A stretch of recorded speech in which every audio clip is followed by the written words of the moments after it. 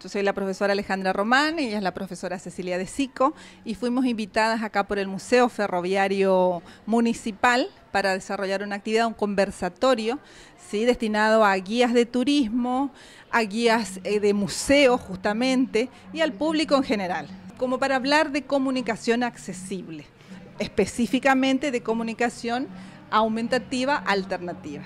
Estamos hablando de diversidad, o sea, no estamos hablando de una discapacidad, ¿sí? Si bien cuando hablamos de diversidad hablamos de personas con discapacidad, la comunicación accesible, digamos, que trasciende lo que es discapacidad, ¿sí? Hablamos de culturas diferentes, idiomas diferentes, ¿sí? formas de expresarse diferentes. Por eso es que siempre hablamos de que no es, no hablamos de discapacidad, sino que hablamos de una comunicación accesible para todas. Es la primera vez que lo realizamos nosotras.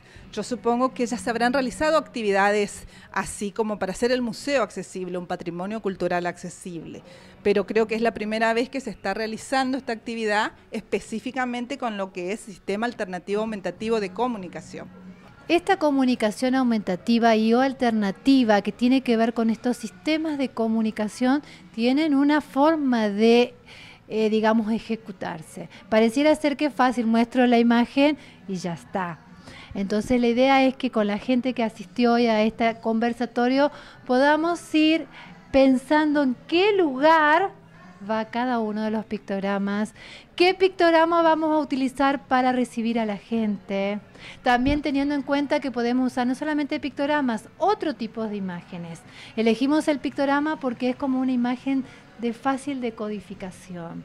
La verdad que estamos eh, muy felices de poder compartir, ¿no es cierto?, este conversatorio porque para nosotros un despertar eh, de repensar en un museo accesible y poder dentro de, las oportunidades que nosotros podamos tener de modificar, modificar ciertas cosas y eh, principalmente el tema también de las cartelerías y no solamente las cartelerías. Así que esto es muy importante para nosotros, muy importante para los museos, para los guías de museo y para todo lo que estamos en contacto con el público.